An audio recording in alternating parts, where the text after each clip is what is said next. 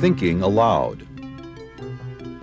Conversations on the leading edge of knowledge and discovery with psychologist Jeffrey Mishlove.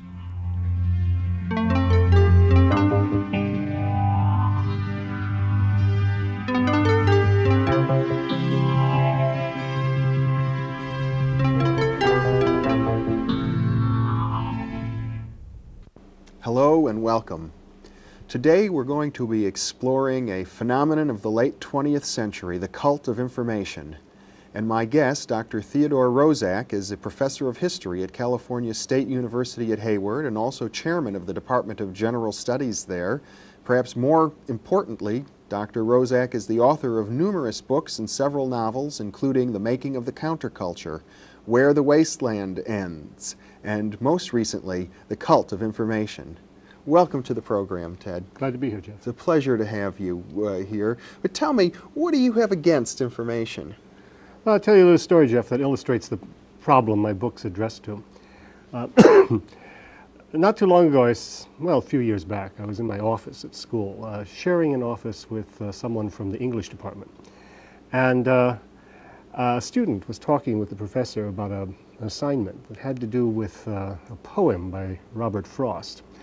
And uh, I was vaguely aware of the conversation that was going on. And I heard my colleague saying to the student, um, I want you to try to draw all the information out of this poem.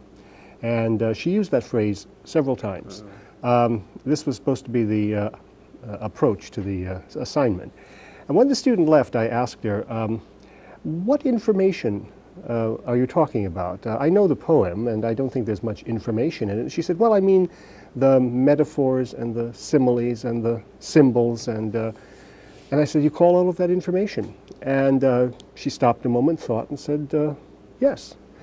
And it suddenly struck me about that time that I had been hearing the word information again and again used in various contexts in uh, more and more ambitious and perhaps even global ways. And it struck me that uh, information is becoming the God word of our time.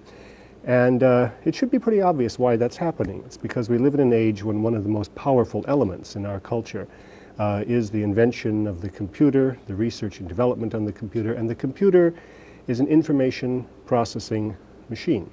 And if you want to sell a lot of computers in a society, you have to convince people that information is terribly important and give it the most ambitious possible uh, definition so that it covers more and more ground and becomes uh, seemingly more and more vital. Now, it struck me that uh, this sort of a development, especially in the field of education, dealing with whether you're dealing with kids in kindergarten or students gra- in, in the university. Applying the term information to the Yeah, understanding of that poetry. this is right. uh, That this there's a problem here. That certain distinctions are being obscured I can that imagine are basic to any culture, Uh-huh. And uh, among them there's the distinction between information Mm-hmm. and uh, knowledge, and uh, judgment and wisdom. And it struck me that these are vital distinctions, that they have a kind of hierarchical arrangement, that some are more important than others, and that as a matter of fact, information is perhaps the least important of them all. And to let the word information simply spread until it covers all intellectual categories uh, seemed to me potentially disastrous for a student's ability to think. It would be uh, uh, implying, for example, as if you could take the music of Bach and do a mathematical analysis of, of the notes so that you would then understand Bach. Yes, and you can do such an analysis. You can do a mathematical analysis of many things, and you may then understand it at a certain level, whatever the phenomenon might be. it struck me, as I thought more and more about this, that as a matter of fact, what's far more central to thinking, to the, what I call the art of thinking in my book, uh, is the mastery of ideas. Cultures are based upon ideas. And uh, if you think a moment, you may realize that many of the most important ideas around which our culture is uh, based uh, have no information in them whatsoever. They're not based on information. The ideas are of an entirely different intellectual character. Metaphysical ideas, Yeah, well, let me give you a very familiar idea that was, uh, all of us recognize immediately, and it's, we all recognize its importance. Take the idea all men are created equal. That's an idea we inherit out of the 18th century. It's absolutely basic to our political life. It's the basis of our jurisprudence. It has launched revolutions throughout the world. It's a powerful idea. There's absolutely no information in that idea. It would be hard to imagine a more powerful idea. Right, and you can't imagine any body of fact that is related to that idea. Mm-hmm. So if you ask, what's that idea based upon? It's based upon something I would call experience, and especially moral vision. The idea was not created by people who had done research on the subject of human equality. The idea was based rather upon the moral insight of a generation that had come to find great sympathy for democratic politics, for the natural rights of man. Um, these were the great objectives and goals of that generation. And out of that was born this powerful idea that all men are created equal. Well, the longer you think about it, uh, the more you realize that what I call the master ideas of any culture have almost no relationship to information. Um, the Tao that can be named is not the true Tao, right? Uh, there is but one God, and Allah is his prophet. Uh, on and on. The great religious ideas, the great theological ideas, the great moral ideas uh, have no relationship to information whatsoever. But science as a whole has never really pretended to offer moral or religious teachings, has it? But even the great ideas of science usually start as visions, Uh, insights, theories, and once they become theories, they sometimes will help generate information. Mm-hmm. I think most scientists would now agree that you don't create great scientific ideas by putting pieces of information together the way computers put bits of information together. That there is initially some sort of a vision or an insight into the operations of nature. Out of this comes a theory. Mm-hmm. The theory then directs attention in such a way that it might help people find information that perhaps corroborates the idea. In other words, the relationship uh, between ideas and information is exactly the opposite of what people in the computer sciences seem to believe. Namely, it is ideas that generate information. It is not information that generates ideas. And to lose track of that fact, it seemed to me, was to court disaster in our intellectual lives. I wonder if you're not putting it a little too strongly, though. Isn't it somewhat reciprocal, actually? Sure, there's a res- reciprocity, but you mustn't lose track of the importance of the initial idea, which is often born of experience. And experience is not something that easily uh, reduces to uh, facts and figures and so on. In fact, what experience is is so deeply metaphysical that it would uh, be difficult for me to define it for you. But we all know what our experience is. And it seemed to me that what people needed to operate in the world successfully, whether they're kids or grown ups, was the ability to discriminate among ideas. Mm-hmm. And what I call the cult of information, which is so focused on information processing and the information processing model of the human mind, which is mm. very popular among computer scientists and people in artificial intelligence And research. many people, even in the counterculture, Yeah. talk of themselves as like a biocomputer. Yeah, well, I mean, there's something behind that image that's interesting too.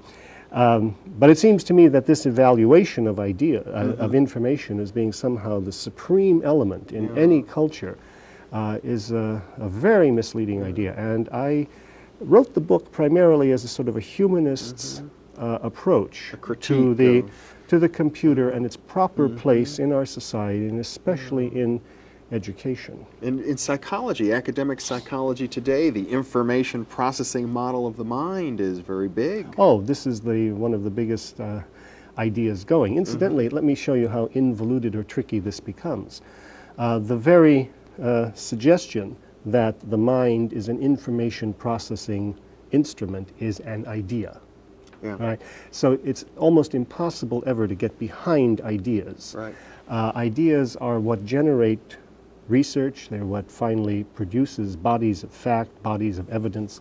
And this too is an the computer is an idea um, based upon certain conceptions of number and how they can be, be manipulated. The information processing conception of thought is an idea. Mm-hmm. It's only one idea about the human mind. I tend to think of it as a very poor idea in comparison to the ideas of Plato or mm-hmm. Aristotle or Spinoza, who also had ideas mm-hmm. about the mind. But all of these are ideas.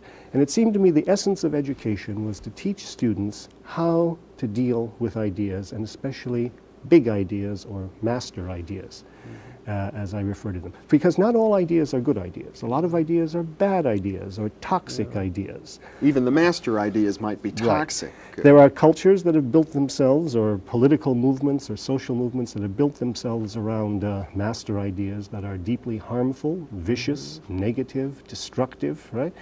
Ideas of a master race, for example. All of these are ideas. And sometimes they're so pervasive we Right. don't even realize that we're holding a mere idea. We think that this is reality. But I would challenge people to reflect upon what it means to think. Mm-hmm. And I suspect that what they would discover is that, for the most part, what they're doing is manipulating ideas. Now, they may be mm-hmm. doing that well, or they may be doing that poorly, but it seems to me the function of education is to teach them how to manipulate ideas well, how to compare them with one another, how to discriminate among them, and perhaps even how to invent their own ideas. So it seemed to me that it was a major liability of um, our computerized culture that we were vastly over evaluating the importance of information, which seems to me to be the lowest level of the mind at which the mind functions. Now, the mind does process information. I give you an example of that. Looking up a telephone number is essentially processing information. data retrieval. Right, data retrieval. Buying um, a plane ticket, uh, choosing which uh, airline to use and which flight to use, and so on, is uh, clearly information processing. That's why- Decision making at a pretty simple level. at a very simple level. And that's why things like this, looking up phone numbers, uh, choosing uh, which flight to take, have been properly computerized and adequately so. And I have, you know, no dispute about the value of the computer as an information processing machine. And we need to process a lot of information in our lives. And so it's good to have a machine that does that. But to call everything the mind does information processing seems to me deeply misleading and simply warps the art of thinking. So it would be a great danger to teach students, uh, for the sake of some manipulation of a computer, that their mind is essentially a computer and that when they think they are processing information. My sense is when you uh, describe the development of these master ideas, that while they're not based on information in terms of little bits, they there's a sense that they're based on a holistic perception, uh, an intuition of the nature of things as a whole. Yeah, and that might be what I'm calling experience, which is a broad, sloppy term that's extremely difficult to refine or define. But we all know what it is, and we shouldn't be talked out of the fact that we all experience things, right? And we tend to experience them in a, in a kind of broad, holistic way. We experience events in our lives. Uh, we learn things out of the process of everyday living, out of the people we meet, raising children, walking through the world, doing a certain job. All of this becomes the experience out of which we draw ideas or the, the various sensibilities that allow us to respond to the ideas we hear political ideas, religious ideas, and so on. But that's essentially what's going on when we do the most important kind of thinking in our lives. Uh, and uh, while the computer is a very valuable instrument to have for numerous uses, it seemed to me that uh, this was one of its great liabilities, that it was uh, being over evaluated as a model of the human mind, and in that respect was doing great pedagogical or educational damage. I mean, there are many people today, I suppose, who quite literally think of themselves as a computer.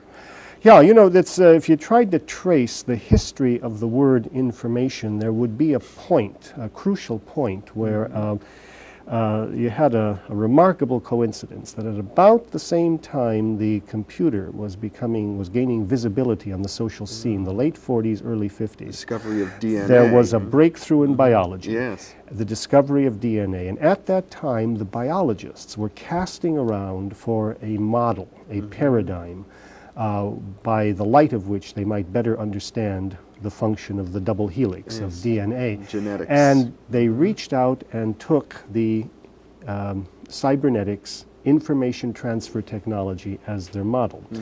Uh, we now know that that might not be at all an adequate model of what actually goes on in the uh, genetic material, but at the time it was an extremely tempting connection to make. And out of that came the image of DNA as a biocomputer, that it was a little string of bits, and somehow if you added all the bits up, you got an organism. It takes a genetic Right. code and Yeah. encodes it in terms of molecules Yeah. ordered, and then it replicates it perfectly. And all of this l- lent uh, some credibility to the idea that DNA was Mm-hmm. an information processing mechanism, right? And since we then believe that DNA was the secret of life, Right. it was like saying that information was the secret Mm-hmm. of life. And it's quite interesting because this is exactly what happened in the 17th century when scientists were looking for a model of the universe and they came up with the clock Uh-huh. the clock. We were like that we live in a, clockwork. right, we live in a clockwork universe, Mm-hmm. and God is the great watchmaker in the sky.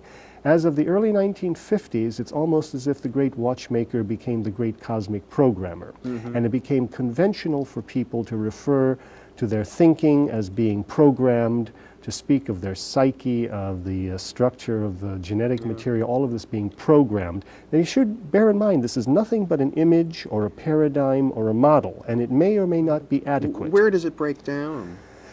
Well, I'm not enough of a biologist to investigate this, except that there have been many findings in contemporary uh, biological research that make it questionable that this is a good model. That is a, uh, if you begin asking where is the program in this mm-hmm. computer called DNA, that's a mm-hmm. very difficult question to answer. So the model may not be a good one. However, historically speaking, as the early 50s, that was a crucial, if mm-hmm. fortuitous, connection between a field called cybernetics, which had developed independently, and the new biology. And at that point, the word information took on a luster, uh, a status, a prestige that it had never had before because it seemed to be the very secret of life itself. And of course, the computer industry as a whole was quite willing to go along with the idea yes, information is the secret of life, it's the key to the universe, you need more and more of it. By a computer, uh-huh. right?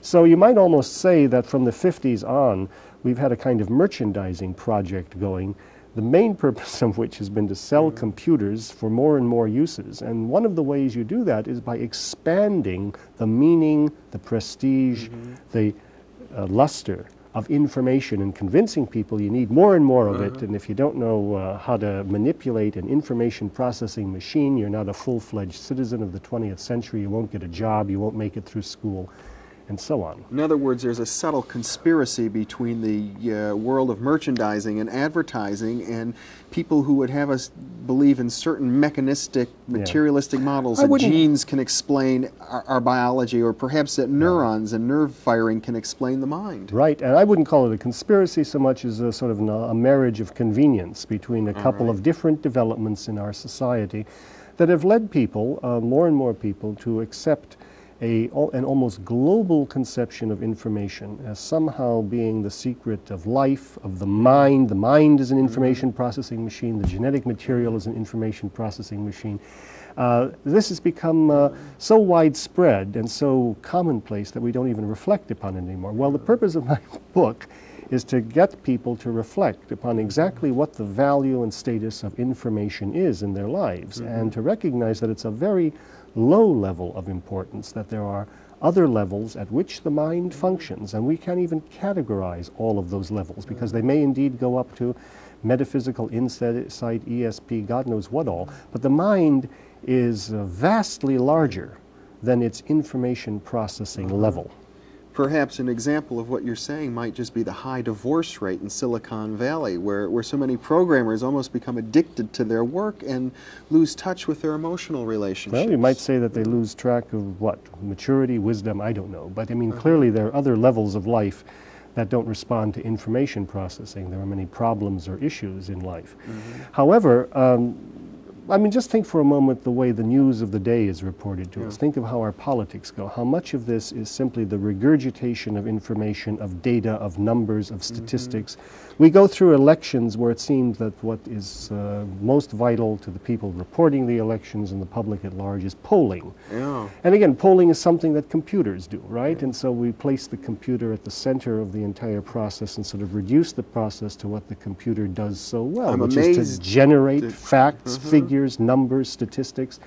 And in the midst of all of this, what gets lost are issues. Yeah. And issues are based upon ideas people have that lead them to ask questions questions about justice, fairness, decency, uh, sanity, and so on, all of which should be the, the, uh, the true subjects of debate mm-hmm. in our political life.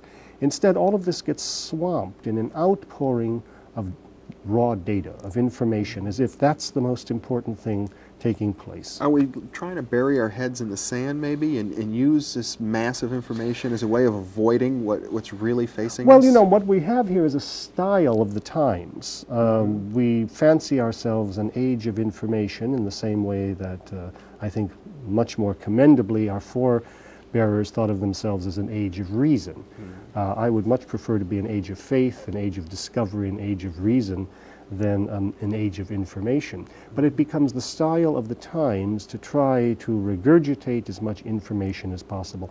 And I think that's one of the things that we find um, lacking or failing in the general quality of our public life, especially, mm-hmm. uh, that we are inundated with information, glutted with it. Mm-hmm. Whereas what we need often to get a grip on the world we live in are a few good ideas, a few good issues to argue about, and that has nothing to do with mastering information. Mm-hmm. So, my thought is that in the educational process, uh, what we should do is start with something very traditional. Uh, the great books, the great ideas, teach students how to handle great ideas, which are found in great books. What we need is good old fashioned literacy rather than computer literacy. Mm-hmm. It seems to me computer literacy is something that can wait because it deals with something much less important in our intellectual life, namely the processing, collection, storage, processing of data. That, it seems to me, should play very little part in a true education. And the idea that every student needs to know computer programming seems yeah, off base to you. And doing that simply crowds out far more vital things that students need to learn. You see, mm-hmm. it seems to me that you don't really need a, in the modern world, the world we live in from day to day, it's a mistake to believe that you need a bigger and bigger electronic filing cabinet called a computer to keep track of all the data. What you need are ideas mm-hmm. that tell you what data matters and what data don't matter. Mm-hmm. And to, to sort your way through the jungle of facts, what you need up here, right, are some good ideas about the world. Uh, and that's what education should start with the importance of those ideas. And those things are to be learned in good old traditional ways out of books, art, music. Mm-hmm. What, what about our current political situation, the crisis we're facing, overpopulation, we're dealing with the potential of thermonuclear war, we're dealing with starvation worldwide. Are we creating some of these problems because we're not focusing in on our, the basic values, because we're losing ourselves in this sea of information? Well, I'll tell you one political issue which is an excellent example of what the over-evaluation of information, information processing, and computers may lead to. It is now a serious proposition in this country that we should entrust the survival of the nation to a weapon system called the Strategic Defense Initiative, which has a great deal of technology associated with it, and we don't quite know all the technology, but what we do know is that the, at the heart of it there will be computers, the most elaborate, the most densely programmed computers the mind can imagine. And what we will be entrusting to those machines as supposedly thinking machines that supposedly possess something called artificial intelligence are certain judgments about war and peace, and therefore about human survival, which is far beyond anything that human beings should ever entrust to machines. And we already have computers that are monitoring our, our defenses as they oh, yes. exist now. Oh yes, and we have we are more and more prepared to allocate to those machines crucial judgments about our life. Mm-hmm. And if you ask why that's happening, I would suggest that the general public has been sold on the idea that those machines are indeed capable of thinking, that thinking is information processing, that a machine that has a lot of data in it and processes it, processes it very mm-hmm. quickly is actually thinking, and therefore it can be entrusted with tasks that properly are should belong to a human mind. I mean, you can. I've read um, you know, lesson plans for uh, kids that will try to convince them that computers are better minds than they have because they don't make mistakes and they always have the right answer. Right? Uh, that's a fatal thing to teach children because, uh, the, again, the computer operates only at a certain very minimal level of thinking. The art of thinking vastly transcends that. And when you get to the level of great judgments in politics, law, social policy, what you need is a, a, fully developed human mind capable of dealing with issues and ideas. And that's far beyond what a computer can do. Yeah. But you know, I find that amongst my friends who are really into computers, programmers, for example, that they have wide ranging interests very often oh, yes. and, and, do have fully developed minds. So. Oh, I'm not suggesting that can't be true. Yeah. And, and what you're talking about is the quality of their minds. Mm-hmm. Uh, what I'm asking is how much of anybody's mind can indeed be encompassed by, uh, mimicked by, or uh, um, matched by the operations of a computer. That's a very different question. And we hear from the artificial intelligence establishment that, you know, eventually computers will be almost human. Eventually, they would uh, almost say within three years, five years, yeah. right around the corner. That's right. And uh, I, uh, in my book, I take great issue with mm-hmm. the people in artificial intelligence on the grounds that that field has been around since the 1950s. And it has been promising successes, breakthroughs ever since then uh, within three years, five years, always just around the corner, yeah. right at hand, uh, that have uh, not yet been accomplished. It's a field so filled with an overweening self confidence, mm-hmm. perhaps because it's so richly funded by the government, by the military, by the corporations, that it has been tempted to make promises it cannot fulfill. So, artificial intelligence, it seems to me, as a field of study, is one of the most vastly inflated and oversold um, studies or fields of study in our society today. Where would you redirect all of that funding? Would you just see it go into the humanities at this point? Oh, I don't think just into the humanities, but mm-hmm. in, in the field of education, I would simply plunk for a curriculum that uh, was a little more traditional, that stayed closer to uh, old fashioned forms of literacy, uh, and uh, sought to put uh, children as uh, gracefully and as early as possible in touch with the great ideas on which their culture is based. Mm-hmm. Uh, ask them to probe those ideas, uh, discuss those ideas, uh, compare them with one another, and uh, reach personal judgments about the great ideas of the culture they live in. I don't see that computers have any role whatsoever to play in that. What you need are teachers, sensitive teachers, great books, great art, great music, great science. Uh, all of these things play a role in teaching children how to cope with the richness of the ideas they inherit out of their tradition. Uh-huh. Well, Theodore Roszak, thank you very much for being with me. It's been a pleasure. Oh, it's been a pleasure, Jeff.